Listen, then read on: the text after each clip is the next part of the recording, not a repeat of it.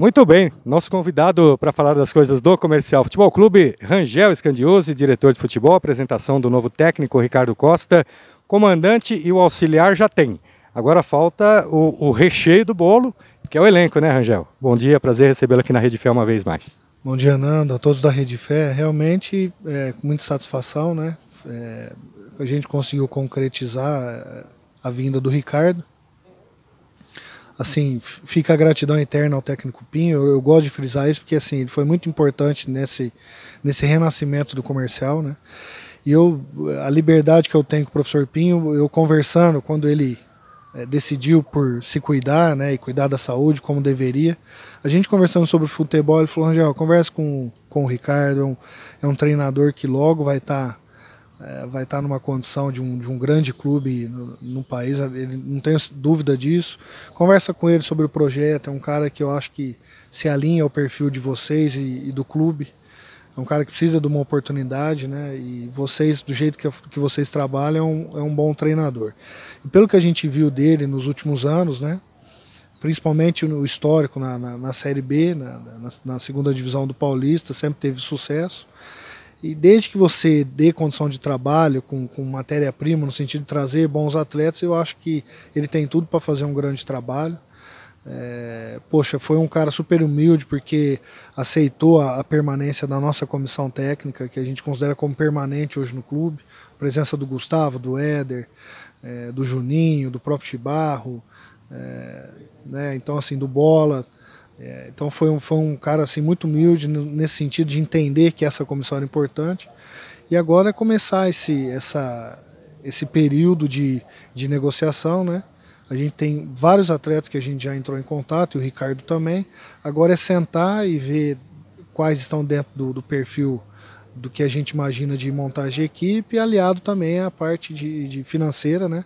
Mas a gente tem certeza que vai ser uma equipe competitiva para para possivelmente é, brigar por um acesso. Série 3 não tem limitação de idade. É, você já tem o Guti, o Leonai, é, que renovaram o contrato, né, fizeram um novo contrato. O Guilherme Café, que tem um contrato um pouco mais longo ainda em vigência, não é?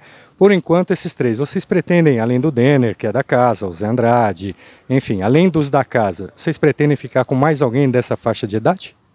O, o Michel Renner e o PH são, são jogadores que também têm contrato com a gente. Mas agora é sentar com o professor, é, primeiro dar prioridade para os atletas que conquistaram o acesso, aqueles que realmente a comissão técnica entender que, que poderiam ser úteis dentro desse projeto. É, lógico que a gente precisa também trazer também alguns atletas que a gente, como brinca no futebol, um pouco mais cascudo, né? Que tem uma certa experiência por essa divisão, para que, para que possa passar também tranquilidade, mais e mais responsabilidade para os atletas, talvez que, que têm uma idade é, abaixo, né, para dar mais segurança para esses atletas.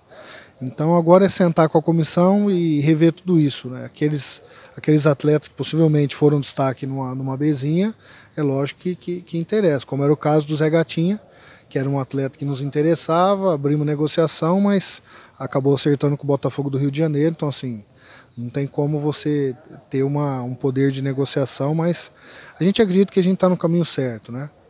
É, tínhamos, conversa, tínhamos, tínhamos aberto também conversa com a Cleice, acabou indo para a Portuguesa Santista, o próprio Moisés, da Inter de Limeira, acabou indo para o Juventus. Então a gente acredita que é, a gente tem ido no caminho certo.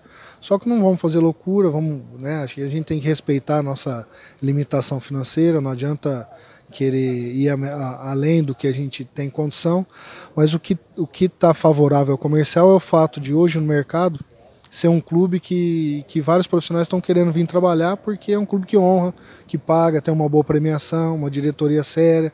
Então eu acho que, que a gente vai conseguir, com, com muita cautela, montar uma boa equipe. E como é que fica a comissão técnica? O Edmar vem para ser o auxiliar técnico direto do irmão, né, do Ricardo Costa, ambos são irmãos, mas a gente tem o, o Gustavo Marciano, tem o preparador físico, enfim, a comissão técnica, vocês já definiram? A comissão, assim, a, é, o próprio Ricardo aceitou para que seja essa comissão, a, a que trabalhava com o técnico Pinho, até porque foram eles que nas dificuldades de presença, de saúde do PIN, foram eles que, que, a gente, que a gente brinca que roeram o osso, então nada mais justo de, de, de, de, não só como gratidão, mas por competência, por tudo que eles fizeram, a gente queria que eles permanecessem. É, como ele vem com auxiliar, com o Edmar, é, o Gustavo vai ser também um auxiliar, ele deixou isso bem claro para a gente, que quer contar com o Gustavo, até por ser um profissional que está no sub-20 e ter trabalhado essa transição do pessoal do amador para o profissional, né? Então a figura do, do Gustavo Marciano é muito importante dentro desse projeto e a gente havia deixado isso para ele, né? Que a gente gostaria que essa comissão permanecesse e ele foi extremamente atencioso assim a essa solicitação da diretoria. Então todo mundo é, vai continuar o trabalho da mesma forma que era, né? A não ser que alguém não, não queira ficar, mas é, eu, a gente acredita que é a mesma comissão do professor Pinho. Né? A única exceção é ele trazendo mais um auxiliar, então trabalhando junto com o Gustavo. Ele é um cara que treina muito essa parte tática e divide a, a preparação para os auxiliares, né? enquanto um trabalha é, um tipo de treinamento, o outro está trabalhando outro. Então acho que não, não vai ter nenhum problema, todo mundo está consciente da, da, responsabilidade do comercial dividir a divisão, então todo mundo que estiver somando é importante dentro do processo algum atleta já contratado ou na bica para ser? é, não, não tem. É, é, complicado. Eu gostaria de poder te dar alguma informação, Nando, mas no futebol a gente sabe como é que é. Se não tiver assinado é, e o fato de você poder divulgar alguma coisa acaba gerando uma certa expectativa, uma especulação de outros, e você acaba caindo num, num, num leilão que, que às vezes fica difícil. Então, assim, a, a gente acredita que até amanhã ou na quarta-feira a gente já consiga falar alguns nomes, né? É, alguns pré-contatos foram enviados hoje pelo departamento jurídico, então o pessoal assinando aí a gente consegue passar isso para vocês. Perfeito. E você entende também que a minha profissão é essa. Eu tenho que perguntar, uai, se vai responder ou não é outra coisa. Bom, o, o, o, o Rangel, a gente está praticamente às vésperas aí da Taça São Paulo de Futebol Júnior. É, e a gente já sabe que, por algum motivo, a Federação Paulista não aprovou o estádio de Cravinhos para que fosse sede e dessa forma o comercial, pelo terceiro ano consecutivo, se não me falha a memória, mandaria os seus jogos lá ou, ou faria a sede na cidade de Cravinhos. Não deu certo. E agora? Há outra sede, o comercial vai disputar a Taça São Paulo, o comercial pretende disputar. O que é que você sabe, embora não seja é, efetivamente, eh, não esteja no seu escopo de trabalho, você é diretor de futebol, mas você é ex-presidente, você sabe de tudo que acontece aqui, o que, que você poderia falar para a gente acerca de Taça São Paulo? Não, eu acho que independente de ser em Cravinhos ou não, comercial, é, eu acho que ele tem a preferência de participação, até pelos últimos anos, e seja onde for, o comercial vai estar presente, né? É, foi feito todo um planejamento, uma programação para que ele participasse. Seria bom, até pela proximidade, é, pela parceria que o prefeito Boi tem, tem realmente tem sido um cara muito atencioso com, com o comercial. Então seria é, produtivo e assim benéfico até para a torcida, pela proximidade, que fosse em Cravinhos. Né? É, acho que o Ademir tem, tem uma conversa com, com o Reinaldo em relação a isso, para ver essa possibilidade de, de reaver essa posição, de que forma a gente poderia ajudar para que é, Cravinhos pudesse permanecer como, como subsede. Mas vamos ver, vamos ver nos próximos dias, aí, nas próximas semanas, essa, esse posicionamento oficial é, para que diante dessa nossa reivindicação e também assim aberto para poder ajustar as necessidades que forem necessárias em Cravinhos para que é, Cravinhos ganha, a região ganha, o comercial fica tudo mais próximo.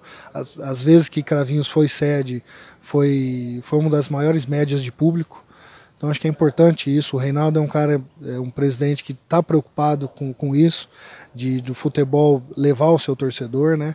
E ele ficou encantado aqui na final é, da, da, da Série B, quando ele teve presente.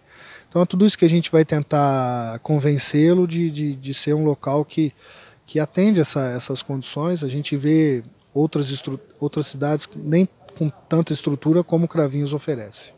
Há alguma pergunta que eu deveria ter feito e por um lapso memorial instantâneo não a fiz? Eu acho que você é um cara sempre muito bem informado, entendeu? E você me perdoa só em relação, eu só não consigo te responder em relação às contratações.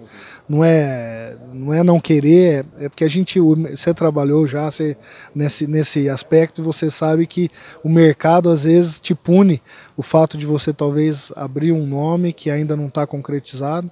Isso acaba gerando uma especulação e infelizmente você acaba perdendo o atleta por conta de um pronunciamento fora do, do momento. Mas a gente acredita que nas, nas próximas semanas, em relação a contratações, a gente começa a divulgar, até porque a gente tem a previsão de iniciar o trabalho, a pré-temporada, dia 19 de novembro. Então está próximo, né? É, então já com esses é, contratados e os jogadores que vão permanecer aqui, temos que conversar com o Lineker, com o Cezinha, com o Lu Anderson, né, com o Geilson, com, com o Caio, com todo mundo. Eu acho que você tem que ser, independente de como terminou o campeonato, você tem que ser grato a todos os profissionais que passaram aqui, pelo menos dar um retorno. Né? A gente tem que ser responsável para é, os atletas, talvez esperam, seja quem for, espera um, um, uma conversa do clube oficial. E junto com a comissão, é, para aqueles que não vão ficar agradecer todo o trabalho que a forma como honrar a camisa do comercial e aqueles que, que a diretoria e a comissão achar favorável, sentar, conversar com cada um e ver a possibilidade de quem fica. E os novos, é, essas negociações já, já estão acontecendo para que é, a gente possa aí fazer uma boa equipe, não podemos errar, sempre a gente 10, 20%, infelizmente você acaba errando, mas são 26 inscritos que você tem que ter todo o critério para que apesar de cair só dois, né, é, isso não, não, não nos acomoda, né?